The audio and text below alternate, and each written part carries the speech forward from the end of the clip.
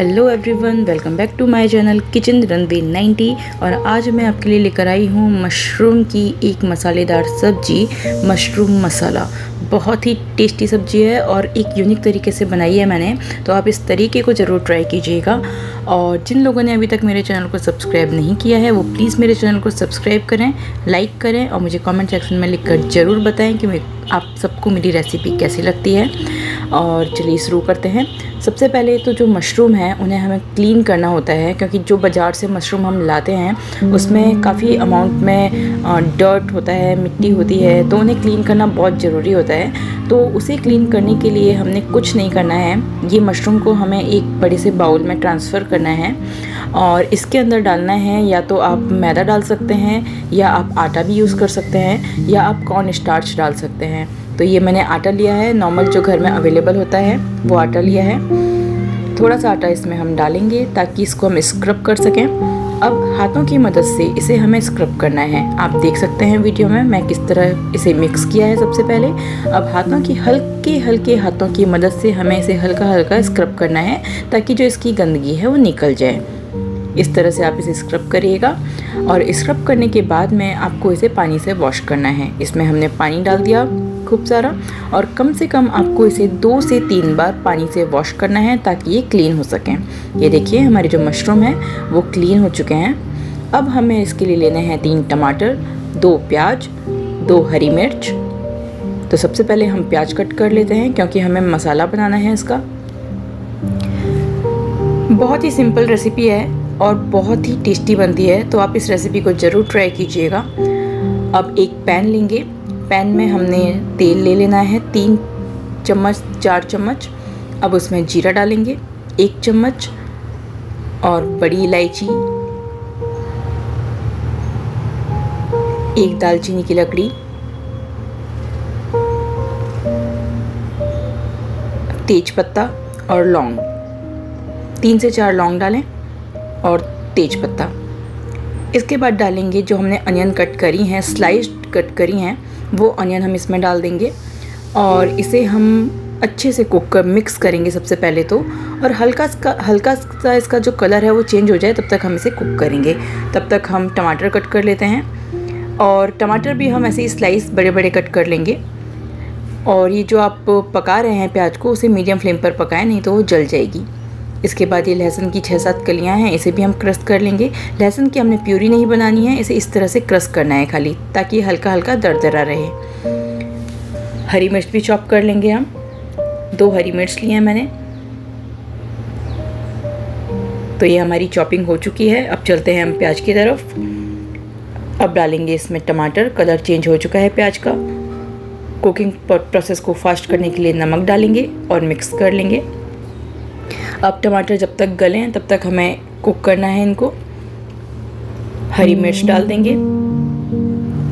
लहसुन डाल देंगे जो हमने क्रश किया था। फिर से एक बार इसे मिक्स कर देंगे। अब इसमें डालेंगे हम थोड़े से मसाले। मसालों में सबसे पहले हल्दी पाउडर आधी चम्मच धनिया पाउडर एक चम्मच। मिक्स कर देंगे। और लाल मिर्च पाउडर डालेंगे। तो आप लाल मिर्च पाउडर अपने टेस्ट के अकॉर्डिंग डाल सकते हैं। मैंने एक चम्मच लाल मिर्च पाउडर डाला है। फिर से मिक्स कर देंगे। तो ये जो हमारा मसाला है, वो बनकर तैयार है। अब हम इसे ठंडा होने के लिए छोड़ देंगे। हमें इसे ग्राइंड करना है। अब जो मशरूम है, हम उन्हें भी प्रिपेयर कर लेते हैं। मशरूम हमने वॉश कर लिए थे अच्छे से क्लीन कर लिए थे। अब हमें इसकी करनी है कटिंग तो जो मशरूम का ये पोर्शन होता है ना साइड वाला, इसे हमें थोड़ा थोड़ा कट कर लेना है, क्योंकि ये थोड़ा सा टाइट हो जाता है। तो इस तरह से सब मशरूम में से इन्हें कट कर लें। और मशरूम पकने के बाद में थोड़े से साइज़ में छोटे हो जाते हैं श्रिंक हो जाते हैं। तो कोशिश करें कि मशरूम का पीस हम बड़ा ही रखें। तो मैंने वन बाय टू ही कट किया है सबको। अब इसके बाद एक पैन लेंगे। पैन में हम दो बड़े चम्मच बटर डालेंगे। बटर को हल्का सा मेल्ट होने देंगे और इसमें डालेंगे ये मशरूम जो हमने कट करे थे। अच्छी तरह से इन्हें मिक्स करेंगे। और इस समय पर आप जो फ्लेम है, वो हाई रखें। हाई फ्लेम पर ही हमें इन्हें सौते करना है जब तक इनका कलर चेंज ना हो जाए। और हमें इन्हें चलाते भी रहना है। ये देखिए कलर चेंज हो चुका है। अब हम इन्हें अलग बाउल में ट्रांसफ़र कर लेंगे। अब चलते हैं हमारे मसाले की तरफ़। हमारा मसाला भी ठंडा हो चुका है, अब उसे कर लेंगे ग्राइंड इसकी हमें एक बहुत ही अच्छी सी प्यूरी बनानी है। अगर आप थोड़ा सा मसाला मुँह में इस तरह से खाना चाहते हैं तो आप इसे थोड़ा सा दरदरा भी पीस सकते हैं। ये देखिए, हमारा जो मसाला है वो पिस चुका है। अब इसे हम पैन में डालेंगे। आपको बटर या तेल कुछ डालने की ज़रूरत नहीं है, क्योंकि ऑलरेडी बटर था इस प्यूरी में। और जो मशरूम हमने कुक किए हैं, वो भी बटर में किए हैं। और ये जो बचा हुआ है, इसे भी हम मिक्स कर लेंगे अच्छे से जार में और इसमें डाल देंगे प्यूरी में। और अब एक बाउल बॉयल आने देंगे इसके अंदर। पहले तो मिक्स कर लें अच्छे से। अब इसमें बॉयल आने दें। ये देखिए बॉयल आ चुका है। बहुत ही क्रीमी कंसिस्टेंसी की ये जो प्यूरी है, वो बनकर तैयार हुई है। अब इसमें डालेंगे मशरूम जो हमने फ्राई किए थे। बहुत ही अलग तरीके से मैंने सब्ज़ी बनाई है। आप ट्राई करिएगा। बहुत ही टेस्टी सब्ज़ी बनकर तैयार होने वाली है ये। मेरे तो अभी से मुँह में पानी आ रहा है। आई एम श्योर आप लोगों को भी काफ़ी अच्छा लग रहा होगा इसे देखकर। हल्की सी एक चम्मच कसूरी मेथी इसमें क्रश करके डाल देंगे और मिक्स कर देंगे। थोड़ा सा गरम मसाला डालेंगे। वन फोर टी स्पून ज़्यादा ना डालें। मिक्स कर देंगे और इसे ढक कर दो मिनट के लिए लो फ्लेम पर हम कुक करेंगे। दो मिनट के बाद मैं आपको दिखाती हूँ हमारी सब्ज़ी बहुत ही अच्छी तैयार हुई है, बहुत ही अच्छा अरोमा इसमें आ रहा है। तो इस तरह से आप सब्ज़ी तैयार करिए।